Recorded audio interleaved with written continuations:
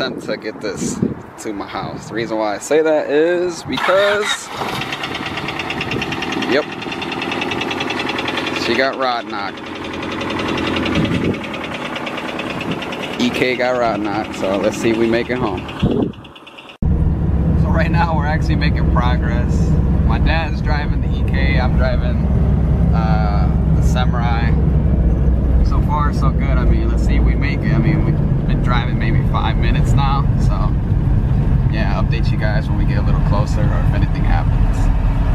Okay, just a little quick recap of what's going on with the EK. So the EK, um, as you guys know, the motor is knocking pretty bad. Um, it actually got worse. I'm actually going to show you guys in just a second. Um, but uh, the EK didn't make it home.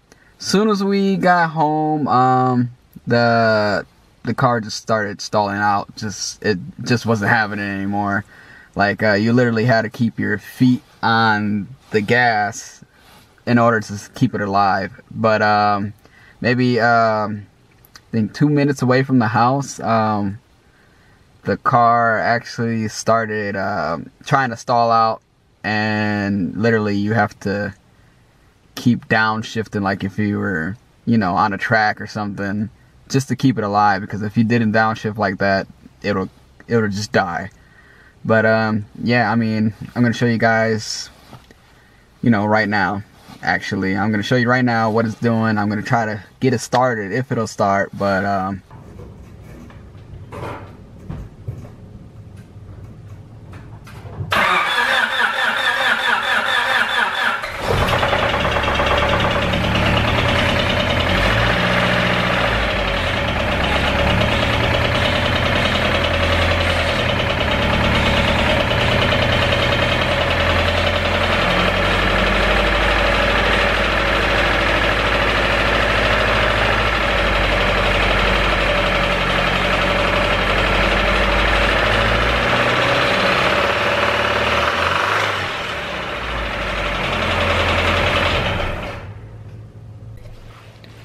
So yeah, the EK is pretty done. So, um, I mean, that's gonna be it for this video. I mean, we did get the EK home.